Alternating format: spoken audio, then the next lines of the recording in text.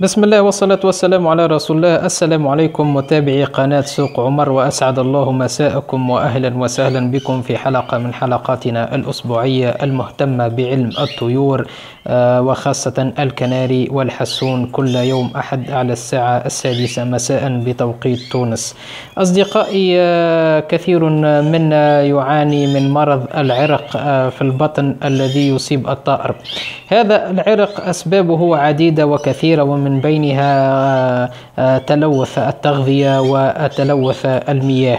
أصدقائي العرق الأزرق هو عبارة عن مرض يصيب الطائر مثل الكوكسيديا ومثل السلامونيا ومثل عديد الأمراض التي تصيب الطيور. هو مرض خبيث والعياذ بالله ولكن لكل داء دواء وهذا بفضل الله.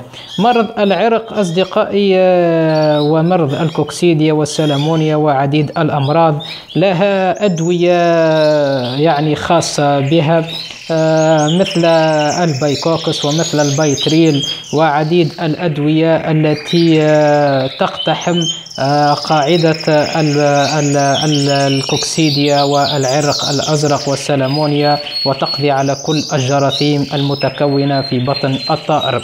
أصدقائي جئتكم بالجديد. اليوم سأعرض عليكم منتوج تونسي. يباع في الصيدلية آه، البشرية وهو بالأصل دواء بشري سوربيتيكولين. هذا الدواء يعني فعال لمرض العرق عند الطيور. أنا خسيس جربته وكانت لي وكان وكانت له فائدة كبيرة.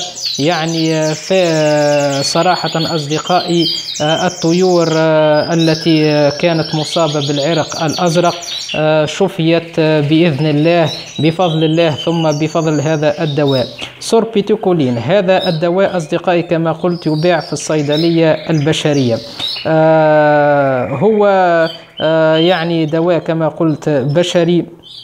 ولكن نحن نستخدمه لدواء الطيور المصابة بعرق الأزرق.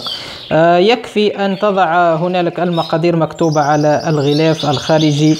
آه، لتر آه، واحد حبة من هذه الدواء.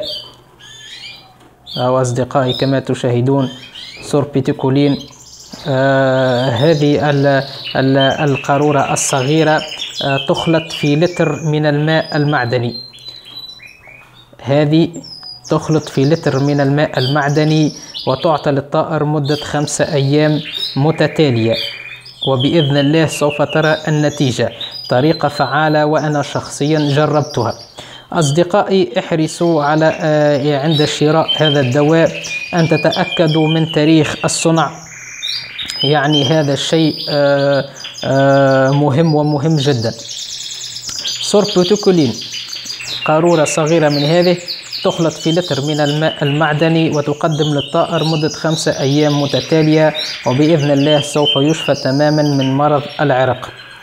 آه، أتمنى أن تكون الحلقة قد نالت إعجابكم. لا تنسوا الاشتراك في القناة وتفعيل الجرس كي يصلكم كل جديد. ومشاركة لهذه الحلقة وحلقاتنا السابقة. آه، والسلام عليكم ورحمة الله وبركاته.